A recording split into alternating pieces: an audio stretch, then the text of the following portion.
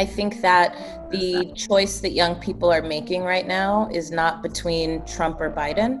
I think that the choice that young people are making right now is to vote or not to vote.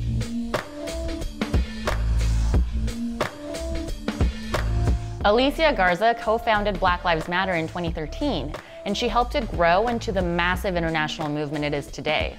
But with the presidential election a few months away, she is now focused on the Black Futures Lab, which finds out what young black voters really want and calls on politicians to engage with them.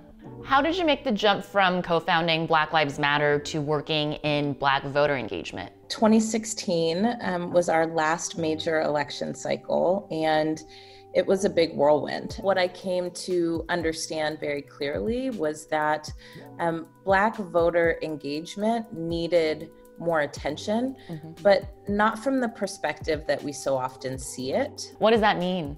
I can't tell you how many plates of fried chicken I have seen in election cycles ever since I started to vote.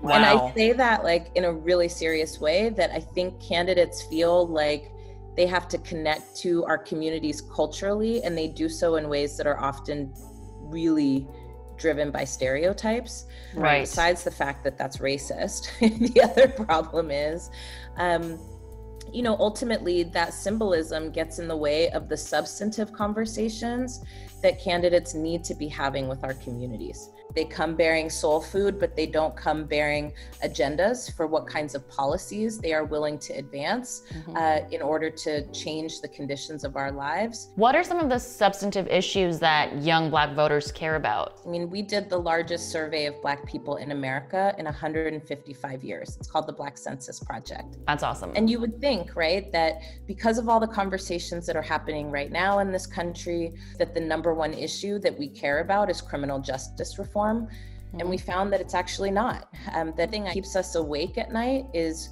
uh, low wages. Next to that, it's uh, the lack of access to affordable and quality healthcare. It's the lack of access to affordable and quality housing.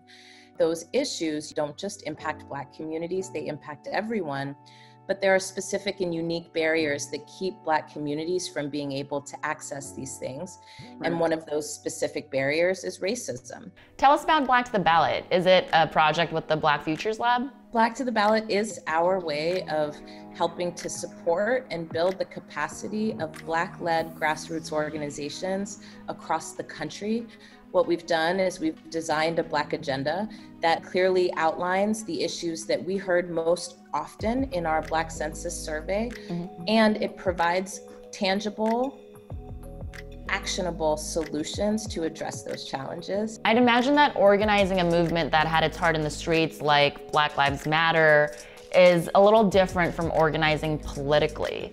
What was the most interesting thing you took away from that experience? What I think is really fascinating is that, you know, people who are protesting are also designing policy. The people who are out on the streets are there because they have ideas about what this country should look like and how it should be run. I think we're also seeing that people who are demonstrating and are protesting are also running for office they know that their passion, their vision, and their connection to communities that have been left behind um, makes them a valuable asset in the political process. What's the number one thing you'd love to see candidates do to reach out to young Black voters before November? I would like them to reach out to young Black voters. Yeah, period. I want them to invest way more resources and um, build infrastructure in Black communities so that um, our communities are engaged and empowered to take this country back.